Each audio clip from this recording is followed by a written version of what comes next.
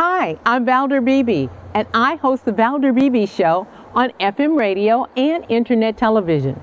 I am famously known for That Celebrity Interview, which I conduct by cell phone, in studio, or satellite media tours. Go to valderbeebeshow.com, youtube.com slash valderbeebeshow, or our partnership network with Business in the Black, which is blacksuccessacademy.com, and click on the Valder Beebe Show channel. I'll see you there. No.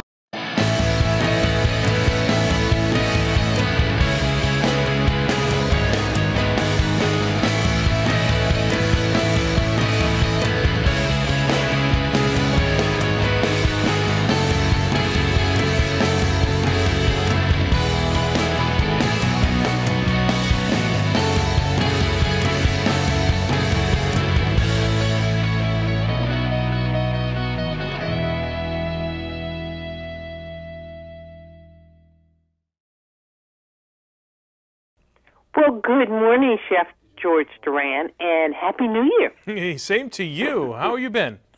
I have been fine, and I'm getting ready for the Super Bowl party, and I told my audience that you'd help us get through this.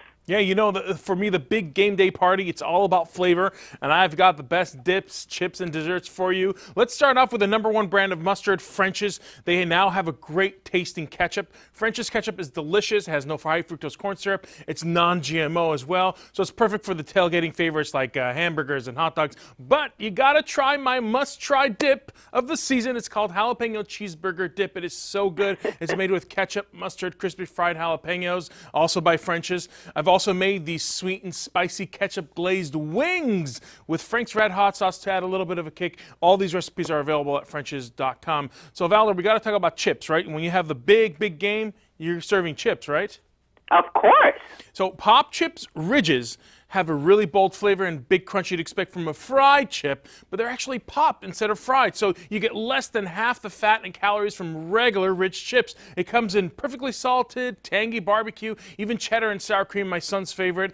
It is perfect for dipping. And speaking of dips, I made my infamous sriracha pork dip today. It's so easy to make because Smithfield's sweet teriyaki tenderloin is already pre-marinated and that removes all the prep work. Other flavors like uh, garlic and herb and applewood smoked bacon, they are perfect also for this dip. And you know what? Everything is better with Smithfield Hometown Original Bacon, including my jalapeno bacon grilled cheese sliders. You know what I love about this bacon is it's so versatile. You can actually make a bacon bar, which by the way, you can find all that information at smithfield.com. So let's balance it out. A little bit of veggies. Am I right there, Valder?